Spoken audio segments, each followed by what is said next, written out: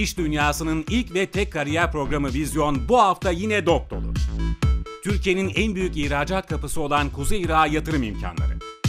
Gayrimenkul sektörünün lideri olan Türk firmaların er bir çıkartması. Ender Çelik Yapı'dan depreme dayanıklı evler konusunda ilginç açıklamalar.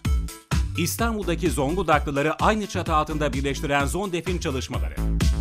Son zamanlarda özellikle siyasilerin ilgi odağı, kişisel gelişim ve beden dili uzmanı İlhan Doğan'dan belediye başkan adaylarına seçim kazanma tüyoları. Hepsi ve daha fazlası Gülbahar Merdiven'in hazırlayıp sunduğu Vizyon'da. Vizyon, Cumartesi ATV Avrupa'da.